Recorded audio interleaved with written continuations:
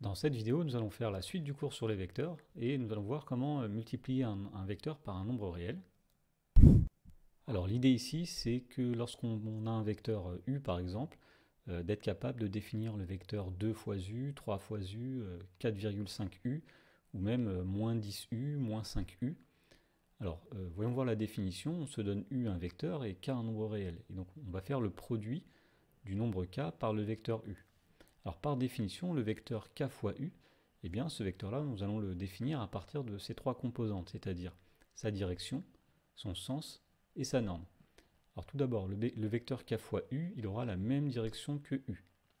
Deuxièmement, le vecteur k fois u, il aura le même sens que u si k est un nombre positif. Il aura un sens opposé si jamais le nombre k est un nombre négatif. Puis dernière chose, la norme du vecteur k fois u, eh bien ce sera la norme du vecteur u, multiplié par la valeur absolue du nombre k, puisque la norme doit être un nombre qui est toujours positif. Alors, faisons un petit exemple pour comprendre.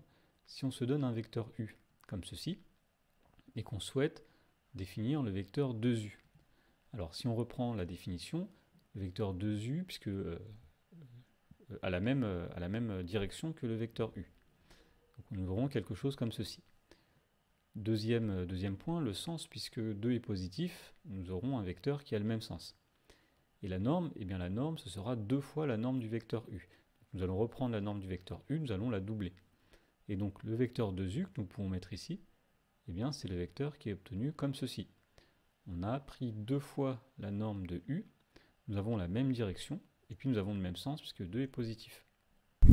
Dans le premier exemple, on donne une figure où il y a un vecteur u qui est déjà tracé, et on demande de tracer ci-dessous les vecteurs 3 fois u, moins 2 fois u, et 1 demi fois u. Alors commençons par le vecteur 3 fois u.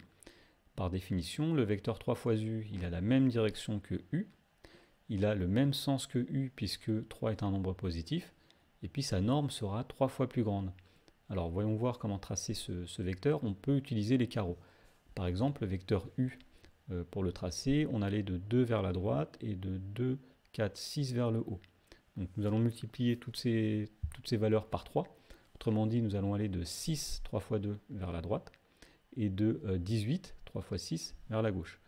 par exemple, si on se place ici, nous allons faire donc 2, 4, 6 vers la droite, 2, 4, 6, 8, 10, 12, 14, 16, 18 vers le haut. Donc le vecteur 3u, il est ici. Le sens, c'est le même que u, donc nous l'avons euh, bien représenté. À présent, le vecteur moins 2u. Alors la direction, c'est la même. Le sens, il sera opposé à celui du vecteur u, et la norme sera deux fois plus grande, puisque la valeur absolue de moins 2, c'est 2. Donc on va multiplier par 2 la norme du vecteur u pour avoir la norme du vecteur moins 2u. Alors comme tout à l'heure, ce qu'on peut faire, c'est qu'on peut euh, compter les carreaux. Donc ici, nous allons de 2 vers la droite et de 6 vers le haut.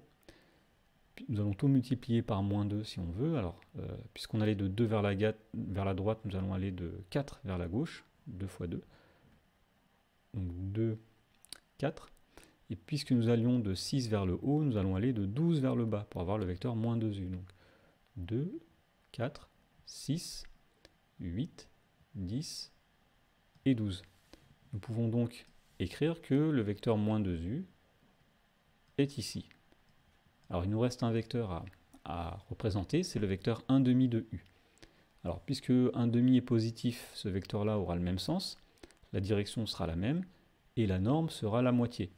Donc il suffit de prendre la moitié de ce vecteur, donc si on part d'ici, nous allons faire 1, 3.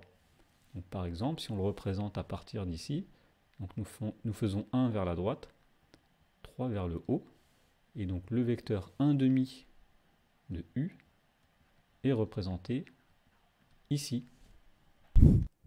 Alors nous allons voir comment euh, utiliser la multiplication par un réel pour décomposer des vecteurs, mais avant ça nous allons donner une définition. Donc, euh, nous allons définir ce que c'est qu'une base orthonormée. Alors une base orthonormée, ce sont deux vecteurs i et j, tels que les vecteurs i et j ont des directions qui sont perpendiculaires et qui ont chacun la norme euh, qui vaut 1. Euh, on dit dans ce cas-là que le, repère OIJ est un repère orthonormé. Faisons une petite figure pour comprendre euh, comment ça se passe. Ici, vous avez deux droites qui sont perpendiculaires. Nous avons par exemple ici un vecteur i qui a une norme 1, un vecteur j qui a la même norme qui vaut 1, et dans ce cas-là, on dira que ij forme une base orthonormée. Et donc si vous ajoutez le point O, qui est l'intersection des, axes, nous dirons ensuite que le repère OIJ est un repère orthonormé. Alors l'intérêt des repères orthonormés, des bases orthonormées, euh, nous allons le voir dans la proposition suivante. Dans une base orthonormée, eh bien, tout vecteur U peut se décomposer de manière unique sous la forme U égale x fois i plus y fois j. Donc ici sur la figure, nous avons un vecteur U, et nous voyons que le vecteur U, on peut l'écrire comme quelque chose fois le vecteur i plus quelque chose fois le vecteur j. Et ces quelque chose sont uniques.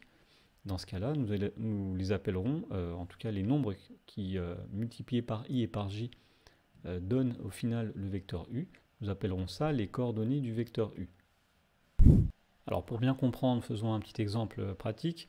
Donc ici, nous avons deux droites perpendiculaires. Donc ici, par exemple, nous avons un vecteur i qui est de norme 1. Nous avons un vecteur j dont la direction est perpendiculaire à celle de i.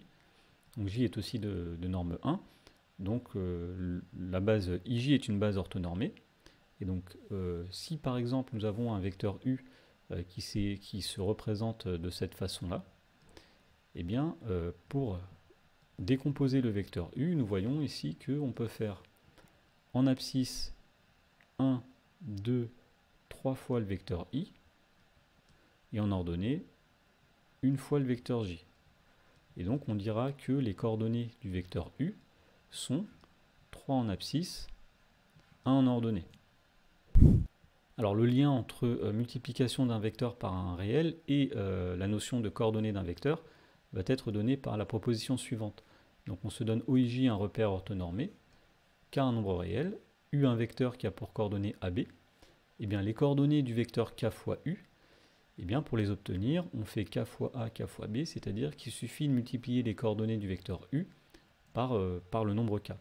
Je vous donne un exemple. Si vous avez un vecteur u qui a pour coordonnées 2, moins 3, et que vous voulez calculer les coordonnées du vecteur 5 fois u, eh vous allez faire 5 fois 2, 5 fois moins 3. Autrement dit, les coordonnées du vecteur 5u, ce seront 10 moins 15. Alors pour conclure, nous allons faire un exemple d'application de, ces notions. On nous dit que dans un repère orthonormé OIJ, on considère les points A de coordonnées moins 1, 2 et B de coordonnées 3, 1. Alors on peut commencer par tracer le vecteur I qui est ici, le vecteur J qui est ici. Le point A, il a pour coordonnées moins 1, 2, donc A est ici. Le point B a pour coordonnées 3, 1, donc il est ici on nous demande de calculer les coordonnées des vecteurs moins 2AB et 3 demi de AB. Alors pour faire cela, on va commencer par déterminer les coordonnées du vecteur AB. Il y a une formule que l'on connaît, qu'il faut retenir, qui dit que les coordonnées de AB, c'est xb moins xa, yb moins ya. Alors, autrement dit, quand on remplace par les coordonnées de A et B, ça nous donne donc 3 moins moins 1 et 1 moins 2 finalement, on obtient que les coordonnées du vecteur AB donc, sont 4 moins 1.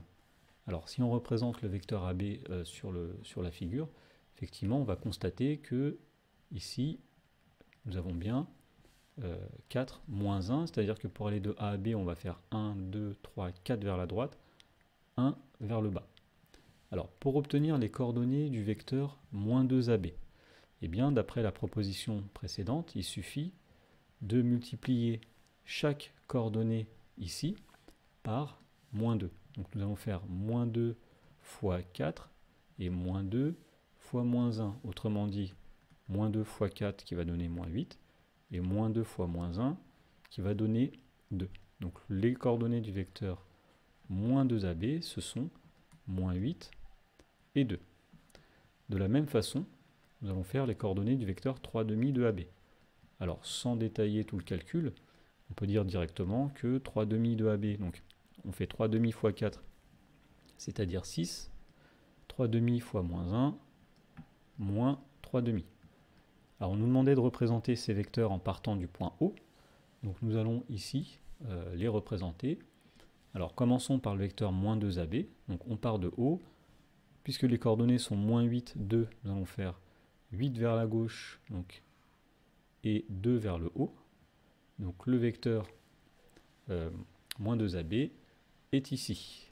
Le voici. Maintenant, on nous demande de représenter le vecteur 3 demi de AB. Donc ces coordonnées étant 6, moins 3 demi, nous allons faire 6 vers la droite et moins 1,5 vers le bas. Donc je pars de l'origine du repère, on fait 6 vers la droite, pardon, 6 vers la droite et moins 1,5 vers le bas. Et donc le vecteur 3 euh, de AB se situe ici. Alors on constate que les vecteurs moins 2AB et 3 demi de AB, ils ont la même direction, et ils ont aussi la même direction que le vecteur AB. Ça, nous l'avions vu quand on avait défini la multiplication d'un nombre par un vecteur, le vecteur obtenu a la même direction que le vecteur de départ.